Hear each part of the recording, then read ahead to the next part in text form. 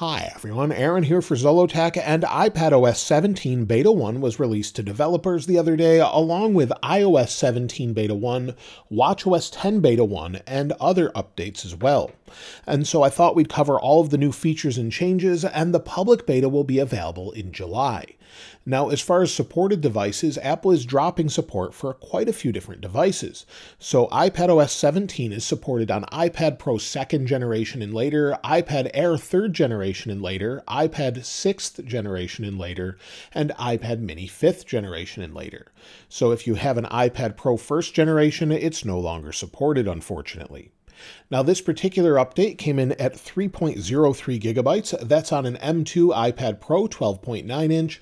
It will vary depending on what device you're actually installing this on and what update you're coming from. I was on the iPadOS 16.6 betas prior to this update. Now, this has a lot of new features in it, but I'm only going to cover iPad specific features. I covered a bunch of different updates with the iOS 17 Beta 1 is out video, and there's changes to things such as messages, Safari, mail, music, and much, much more. But I wanted to cover specific iPad features that are not in iOS 17. Now, the first thing has to do with the lock screen. If we go to the lock screen, there's now personalization of the lock screen. Just like iOS 16 and iOS 17, press and hold on the lock screen and you can add a different personalized lock screen. If we go over and add one, you'll see we have a bunch of different categories with different things such as weather and astronomy, kaleidoscope, emoji, unity, pride, collection, and under collection we have the new wallpaper for iPad OS, and also we have a new hello wallpaper similar to what we have on Mac with different styles and more. So if you want to use that, that's available as well as a nice landscape wallpaper. And if we go down, you've got some color wallpaper as well. Now, if we go into astronomy, that's new as well. And under astronomy, if we swipe, we have all of the different planets. So we'll continue to swipe through. You can see all of the different planets here as we swipe through. And they've left out Pluto. Some people say it's a planet, some don't. But you'll see here, Here's all of the different planets as we scroll through. It's customized for iPad. If we hit cancel, again, we have some new kaleidoscope options, and you can swipe between the different styles, so you don't have to go back out and back in. Now let's go ahead and cancel this. And if we go back to this wallpaper, we can customize it again, just like iOS. So if we tap on the lock screen and tap on our options here, we have light and dark mode and automatic. So Apple's brought back light and dark mode just like they did on iOS 17 as well.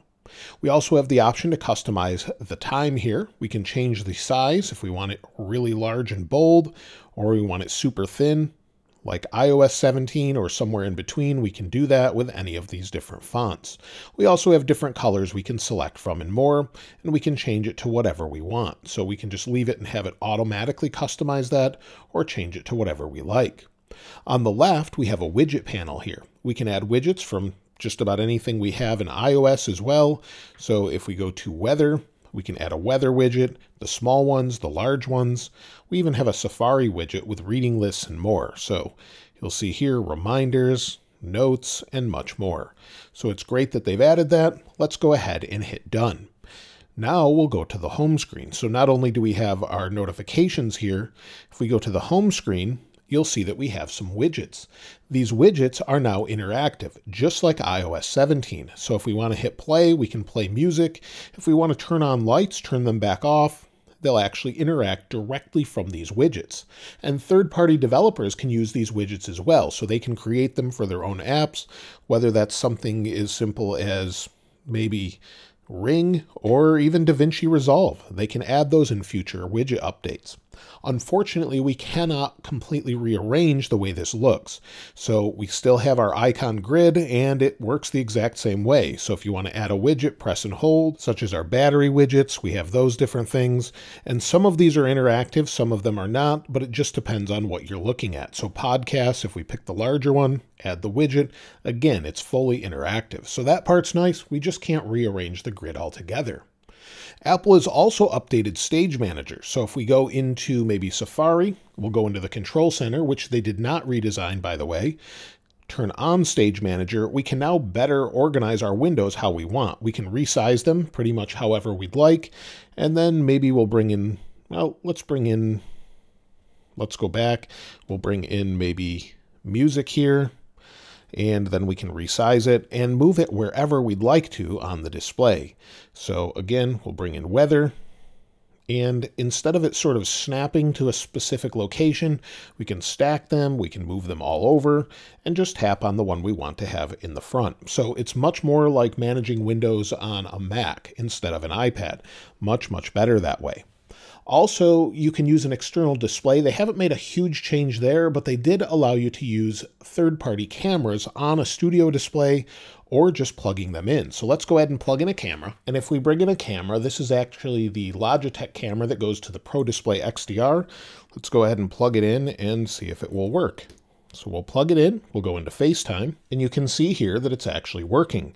So we can resize this window, and it's using this camera, so I can cover it, and you'll see we can use this camera, third-party cameras, no drivers, just plug it in, USB-C, and it seems to work. So that's great if you want to use this instead of the iPad camera or something else. Now let's turn off Stage Manager, and let's go to the next screen here. As we scroll over, you can see I just have my normal app grid, but there's a new app here, Health.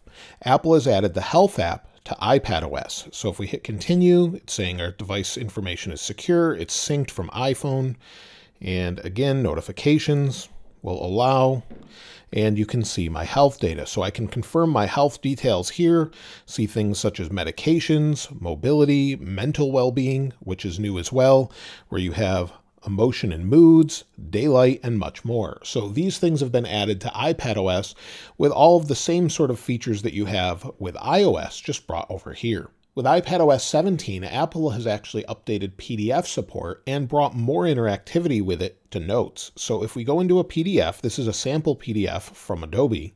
If we go here, we can press and hold. It recognizes different areas. Then you can copy, select all, and if you want to bring that into notes, you can do that and mark it up and collaborate. So if we go into notes, and within notes, if you're using a PDF, you can interact, show thumbnails. You can also annotate and sort of draw on top of it. You can also autofill fields now. It will recognize maybe your name and address and help you autofill that that from your contacts. Additionally, you can link notes to one another, and also there's some font changes and more. So a few different things that have been added to notes. Nothing huge though, but the nice updates to PDFs make it easier to sort of do those on an iPad, sign those, and move on. Additionally, there's some updates to Freeform. So let me find the app here wherever I've put it. And within Freeform, we now have the option for new pens. So you'll see some down here at the bottom. Let me bring that back. You have some new ones if you scroll over. And what they are is a watercolor brush, calligraphy pen, highlighter, variable pen width, and ruler. So basically the things that you had before in the Notes app are brought here. So you have that option. And additionally, it recognizes shapes. So maybe if we draw a square, it can recognize it, but you'll have to hold. So we'll hold it recognizes a circle. Same thing. We'll try the square again. It recognizes it if you hold and draws a square. The same things that we had in notes are now here. If you're collaborating with someone, there's a new follow along feature to see what someone else is changing or working on. So maybe they're on a different part of the document working on this board and they've changed something. You can see them move across the different areas within Freeform. So that's been added in this update. Now, additionally, there's all of the different updates with iOS 17 as well. So again, those interactive widgets, we have changes, changes to messages, autocorrect, and different features throughout with accessibility and more. So if we go to accessibility, you have all of those different modes with personalized voice.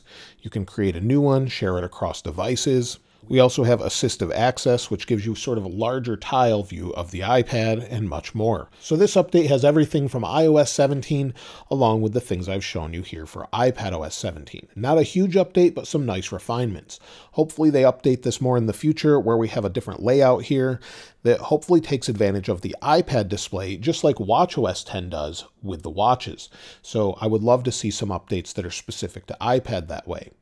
This update should release to the public in September, typically alongside the new iPhone launch and iOS 17 and all of the other updates. Of course, I'll have different videos about macOS 14, Sonoma, and much more. Be sure to check those out. And if you're wondering if you should install iPadOS 17, I would probably hold off. Although this does seem to be more stable than iOS 17, I'd probably wait for the public beta at least, or maybe a few betas in. Typically by beta 2 or 3, they become much more stable. As far as iPadOS 17 Beta 2, that's probably a couple weeks away at the minimum, and usually Beta 2 or Beta 3 releases alongside the public beta, so I would wait for that to install it. Other than that, though, performance seems to be okay. Battery life, I'm not really sure. I've only used it for a day or so. But let me know your experience with it if you've installed it and if you're excited about iPadOS 17. Do you think they could have done more? I'd love to hear from you in the comments below. I'll link this wallpaper that we have on the iPhone and also the iPad in the description below. And if you haven't subscribed already, please subscribe. And if you enjoyed the video, please give it a like. As always, thanks for watching. This is Aaron. I'll see you next time.